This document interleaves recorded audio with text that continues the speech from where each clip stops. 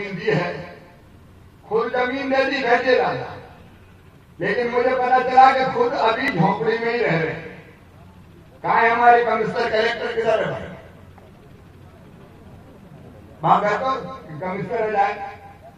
दादा का पक्का मकान तत्काल बनना चाहिए, ये तो ज़मीन आ जाने वाली इन्हें समान किया। देखो इंसान हो तो ऐसा जो खुद गरीबी में सुविधाओं का अभाव है, कच्चे मकान में रहते हैं। लेकिन जब भगवान बिरसा मुंडा के स्मारक को बनाने की बात हुई तो नत्थू दादा सबसे पहले आए तो नत्थू कौन अपनी ज़मीन दान करता है? आपने बड़े पुण्य का काम किया। है संस्कृत में भगवान अंग्रेज़ों के अत्याचार के खिलाफ उन्होंने लड़ाई लड़ी। अंग्रेज़ आज ईस्ट इंडिया कंपनी के रूप में लेकिन धीरे धीरे हमारी जमीनों पर कब्जा जमाने लगे। हमारा शोषण करने लगे। हमारा खून चूसने लगे। धर्मांतरण का कुचक्र चलाने लगे। गरीबी का फ़ायदा उठा के सब धर्म बदल लो। हमारे जनजातीय भाई बहनों को पथभ्रष्ट करने की कोशिश करते रहे भगवान बिरसा मेरे कुशाग्र बुद्धि थे। पढ़ने में बहुत तेज थे। और जब चाहिए सब इस स्कूल में वो भी गए हम का धर्मांतरण करवा दिया गया अभी कौन सी बात होती है अगर पढ़ाना तो क्या किसी का धर्म बदला जाएगा पढ़ते पढ़ते बिरसा भगवान को ये लगा कि अंग्रेज़ शोषक है। गरीबों का खून चूस रहे जनजाति, आदिवासी भाई बहनों का खून चूस रहे इन्होंने पढ़ाई छोड़ दी अपने गाँव में आ गए और धर्मांतरण को भी उन्हें ठोकर मार दी। अपने मूल धर्म में वापस लौट के बिरसा भगवान ने समाज सुधार का काम प्रारंभ किया। अंधविश्वासों के खिलाफ लड़े उन्होंने हमारे जनजाति भाई बहनों को पूजा पाठ की पद्धति अपनी परंपराएँ अपने जीवन मूल्यों पर चलने का आग्रह किया। वो जने स्वयं पहनते थे पहनाते थे, संस्कृति की रक्षा के लिए वो लड़े और केवल संस्कृति की रक्षा नहीं की, देश की रक्षा के लिए उन्होंने अपना सब कुछ न्यौछावर कर दिया। ऐसे थे भगवान बिरसा एक आवाज़ लगाते थे तो हज़ारों लोग जान देने को तैयार हो जाते थे। उन्होंने कहा ये धरती हमारी है। राज भी हमारा होगा। अपनी धरती, अपना राज। उन्होंने अंग्रेज़ों को खदेड़ने का संकल्प किया। अंग्रेज़ घबरा गए। बिरसा भगवान को पकड़ा गया। जेल भेजा गया। कहते, जेल गए तो जेल की एक दीवार ही टूट गई। लोग उनको भगवान मानते चमत्कारी व्यक्तित्व थे उन्हें नशा जैसी शराब जैसी बुराइयों को भी दूर करने की कोशिश की। हालत यह थी कि जब अंग्रेज़ों के खिलाफ जिन्हें भारत माता के पैरों को स्वतंत्रता की बेटियों से जकड़ कर रखा था, उनके खिलाफ अभियान चलाया तो गाँव के गाँव संचित होने लगे। गाँव के गाँव एक होने लगे। उनके नाम से भी अंग्रेज़ काप जाते थे। लोग उन पर जान छिड़कते थे उन्होंने अंग्रेज़ों के खिलाफ लड़ाई लड़ी। और एक नहीं अनेकों अंग्रेज़ों के सिपाहियों की, जनजाति साथियों ने अन्याय के खिलाफ संघर्ष करके कई बिल्डिंगों को आग के हवाले किया भयंकर संघर्ष हुआ। अंग्रेज़ सिपाही मारे भी गए। लेकिन बिरसा भगवान को बड़ी फौज लेके आएँगे कोशिश की कि इनको पराजित करें, इनको पकड़ में वो पकड़ में नहीं आए। अंततः अपने किसी साथी की गद्दारी के कारण बिरसा भगवान पकड़े गए। कुल 25 वर्ष की उम्र की सोचो। 25 साल की उम्र में उन्हें चमत्कारी काम किए। संथाल परगना छोटा नागपुर यह पूरा का पूरा इलाका। आज भी लोग गीत भगवान बिरसा की स्मृति में गाए जाते हैं। जेल में उनको घनघोर यात्राएँ दी गई। उनका मानसिक अत्याचार किए गए। अन्याय किए गए। लेकिन शोषण के खिलाफ वो झुकने को तैयार नहीं हुए। और 25 साल की, केवल 25 साल की उम्र में अपने देश की खातिर, समाज की खातिर, शोषण के खिलाफ लड़ते लड़ते, ये जनजाति महानायक भगवान बिरसा मुंडा इस धरती को छोड़ के चले गए। मैं उनके चरणों में श्रद्धा सहित प्रणाम करता हूँ। और आपको भी जाना चाहता आपको भी पूछना चाहता हूँ? जिन्होंने हमारे लिए जान हमारी संस्कृति के लिए जान दी अपने धर्म के लिए जान दी अपने देश के लिए जान दी बताओ उनको याद करना चाहिए कि नहीं करना चाहिए? अरे बोल के बताओ, करना चाहिए कि नहीं? और इसलिए हमने ये कार्यक्रम मनाया। पंद्रह नवंबर को दिवाली का दूसरा दिन।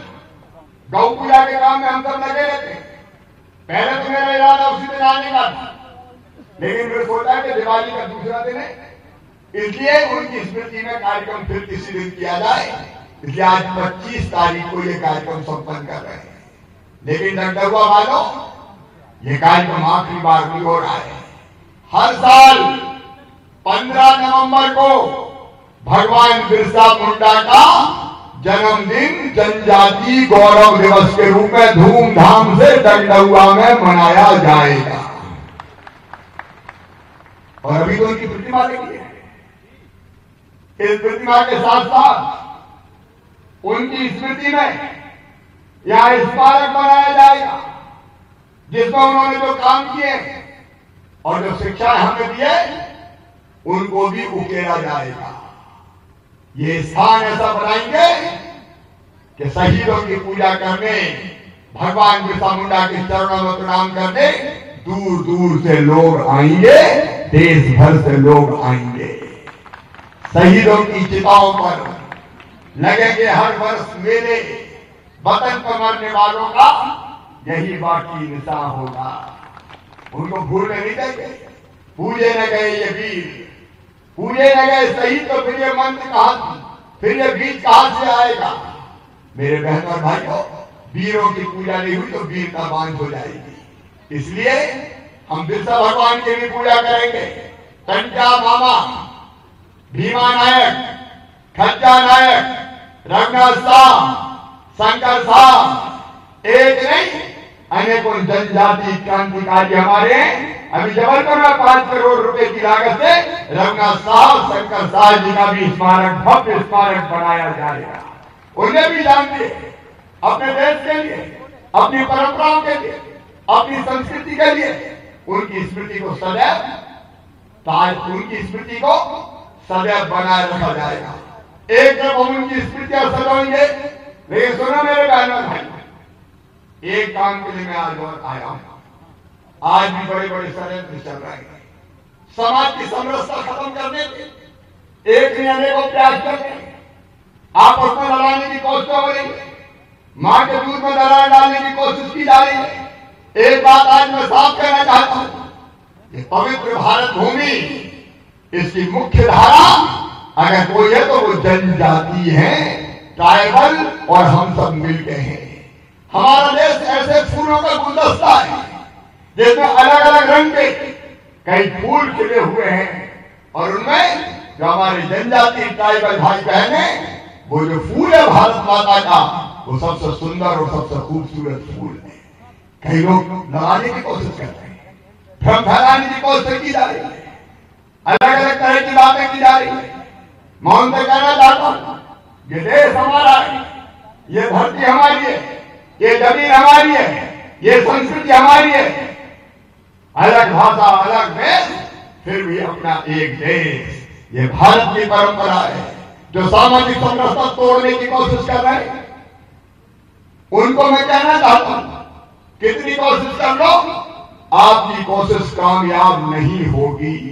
धर्मांतरण के कुछ रखे जा रहे हैं मैं किसी का विरोधी नहीं लेकिन आप साफ़ कहना चाहता हूँ, लोभ, लालच, भय, प्रलोभन, अरे करना तो सेवा करो ना।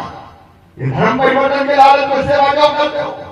मध्य प्रदेश में हमने कानून बना दिया है लोग लालच, भय, प्रलोभन। में अगर कोई धर्मांतरण करने का प्रयास करेगा तो उसके खिलाफ कानूनी कार्रवाई की जाएगी, उसको सजा भी होगी। उस पर जुर्माना भी होगा। भोले भाई लोगों को बहकाने की कोशिश की जा रही है। लगातार अनेकों प्रयास किए जा रहे हैं। मेरे बहनों और भाइयों, एक खतरा और है जिससे मैं आपको आगाह करना चाहता हूँ। हम सब भारत माँ के लाल भेदभाव का कहा और मैं फिर कह रहा हूँ कि जनजाति परंपरा हमारे अनादिकाल से चली आ रही है। उस परंपरा को हम बना रखें। जीवन मूल्यों को बना रखें। और एक बार सुन ले साफ़ पूरा हिंदुस्तान में पूरी दुनिया। मैं गरीब और जनजाति भाई बहनों का शोषण किसी भी कीमत पर नहीं होने दूँगा, नहीं होने दूँगा, नहीं होने दूँगा। ये हमारा संकट लेकिन कुछ ऐसे ऐसे भी मिले।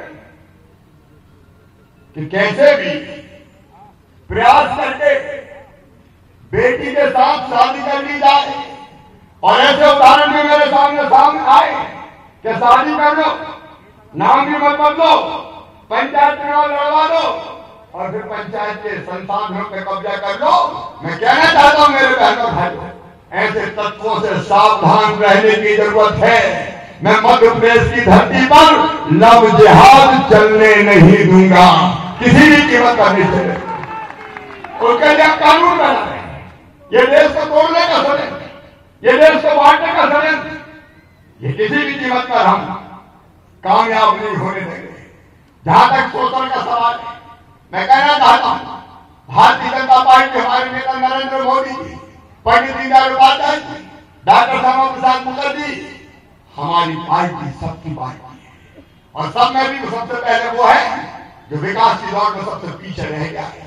वो हमारे लिए सबसे पहले और से मेरे जनजाति और बहनों, मेरा साथ करना और वो सभी से करो। कि देखो भाई मध्य प्रदेश के खजाने में। सबसे पहले हक अगर किसी का है तो वो हक है गरीब का।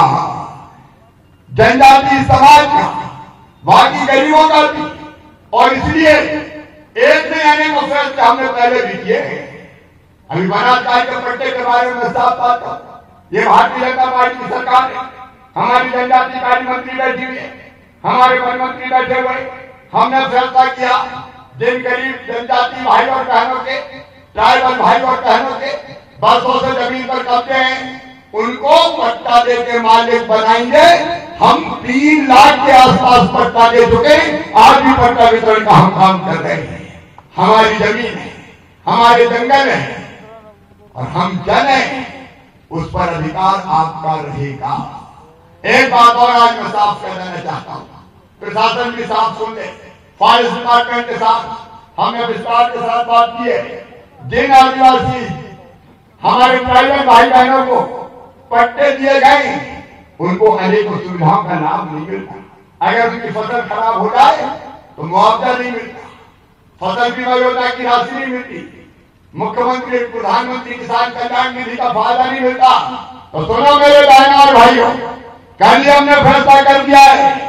जिनके पास भी पट्टे की ज़मीन है, उन सबको भगवान न करे फ़सल खराब होगी तो मुआवजा दिया जाएगा।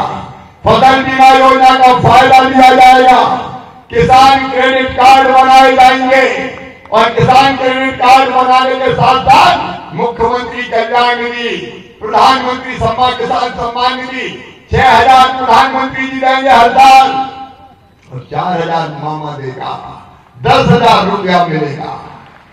और इसके बाद मेरे बहन और भाइयों ट्राइबल बहन और भाइयों में आपसे भी एक एकड़ ज़मीन, आधा एकड़ ज़मीन हो, पाव एकड़ ज़मीन हो, कितनी भी ज़मीन हो, रुपया दस हज़ार हर साल दिए जाएँगे।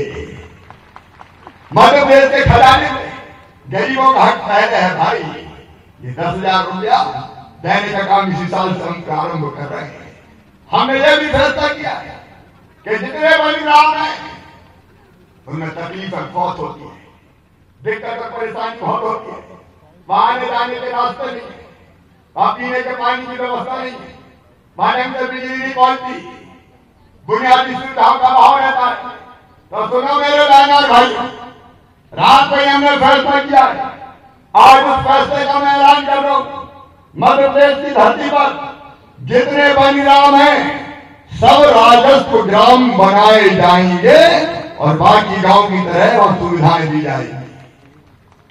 केवल एक अंतर रहेगा कि अपनी ज़मीन, जो पट्टे की है, वो बेचने का अधिकार नहीं रहेगा, क्योंकि मैं भी नहीं चाहता कि वो ज़मीन बिके। हमारे जनजाति भाई और बहन गरीब ज़मीन के मालिक बने रहे। मेरे बहन और भाइयों समाज एक है। मिलकर हम चलेंगे लोग तोड़ने की कोशिश कर रहे लेकिन शोषण अगर कहीं होगा, लूट अगर कहीं होगी तो ये मामला तुम्हारे साथ खड़ा रहेगा। और इसलिए हमने फैसला किया कई बार हमारे जनजाति भाई बहनों ने कर्जा उनके ब्याज की दर पे ले लिया, सूद खोर से ले लिया, और सूद खोर ने ऊँचे ब्याज की दरों पे कर्जा लिया बीस परसेंट, पच्चीस परसेंट, तीस परसेंट महीना वसूला जाता है। गरीब कहाँ से लाएगा कई बार उसके उसकी संपत्ति गिरवी रखी जाती है, ज़मीन गिरवी रखी जाती है, उसको तंग किया जाता है। ऐसे लोगों को मैं चेता रहा हूँ हमने जनजाति ऋण विमुक्त अधिनियम 2020 पारित कर दिया है, जिनने नियम विरुद्ध गलत तरीके से ऊँचे ब्याज की दरों पे बिना लाइसेंस के जनजाति भाई और बहनों को लोन दिया है और गर्दन पकड़ के वसूल रहे वो साफ़ सुन लें वो सारा कर्जा माफ़ करने का मैंने कानून बना दिया है। वो कर्जा स्वतः माफ़ हो जाए उसकी वसूली नहीं हो सकती। अगर वसूली करने का कोई प्रयास करेगा तो उसके खिलाफ कार्रवाई की जाएगी। हमने ये भी कानून बना दिया है कि हमारे, अगर किसी जनजाति भाई बहन की संपत्ति किसी ने गिरवी रखी है तो वो भी उसको वापस लौटानी पड़ेगी। हाँ जिसने कायदे में